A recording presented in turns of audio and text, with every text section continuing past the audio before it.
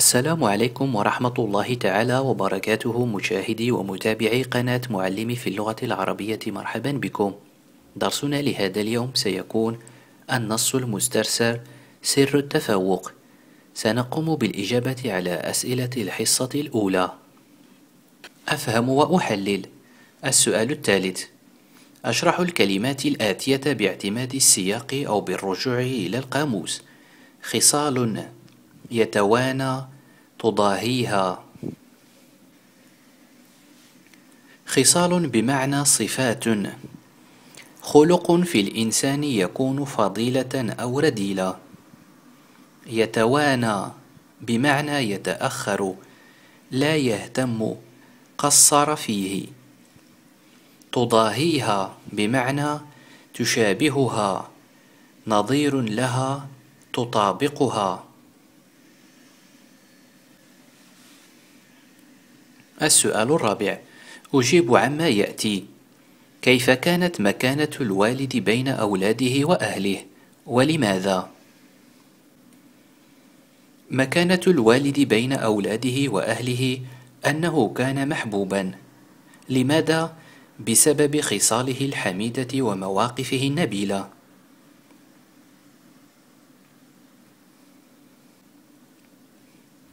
حدد الكاتب في الجزء الأول حرفتين أذكرهما وأبين على ما يعتمد كل واحدة منهما.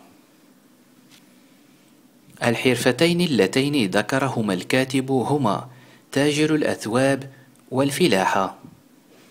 تاجر الأثواب يعتمد على الأقمشة والصوف والكتان والفلاحة تعتمد على الإنتاج والجودة العالية والأرض. أفضل تاجر الأثواب لأن الرسول صلى الله عليه وسلم أوصانا بالتجارة.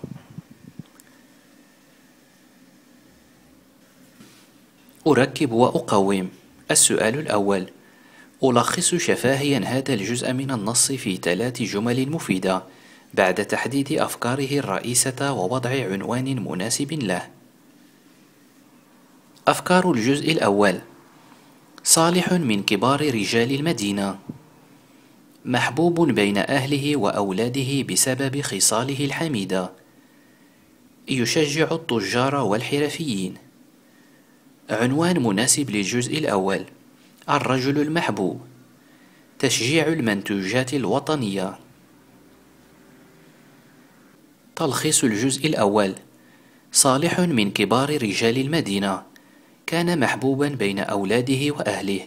بسبب خصاله الحميدة ومواقفه النبيلة يولي اهتماما زائدا بالتجار والحرفيين لا يلبس إلا الثياب المصنوعة يدويا ويشجع دائما الفلاحين على الجد والاجتهاد للوصول إلى إنتاج أوفر وجودة عالية.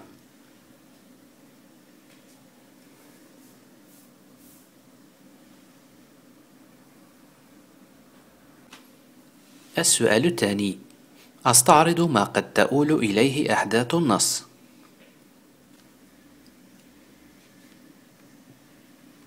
ما قد تؤول إليه أحداث النص. ربما سيشجع صالح أبناءه على ممارسة التجارة والفلاحة. ربما سينشئ صالح معملا لصنع الأثواب والنسيج. السؤال الثالث. أذكر بعض الألبسة التي كانت ولا زالت تصنع باليد. بعض الألبسة التي كانت ولا زالت تصنع باليد البورنوس أو السلهام الجلباب القفطان الحيك.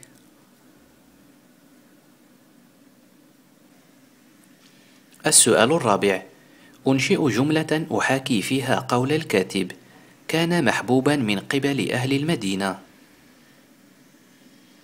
أحاكي الجملة كان محبوبا من قبل أهل المدينة. كان الفائز بتحدي القراءة مدعوما من قبل أساتذته وعائلته. كان الطفل يحظى بالحنان من قبل أبويه.